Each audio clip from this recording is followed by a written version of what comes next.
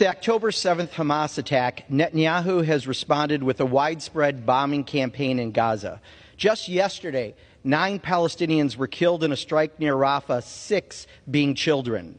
This is anything but going after Hamas. This is a collective punishment of all Palestinians in Gaza.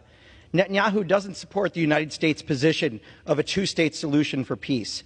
He doesn't respect our urges not to invade Rafah. He disputes what the U.S. and aid groups have said about famine taking over in Gaza, and he launched an attack on Iran after the White House told him not to.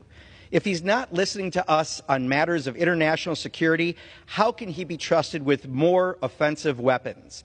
Enough is enough. I support the people of Israel who don't want bombs raining on them from extremists in Gaza, and the hostages must be released.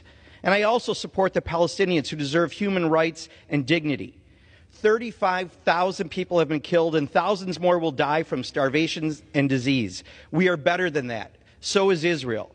I'm not sure Netanyahu is, and that's why I can't vote to provide him with more unconditional offensive weapons today, and I urge a no vote, and I yield back.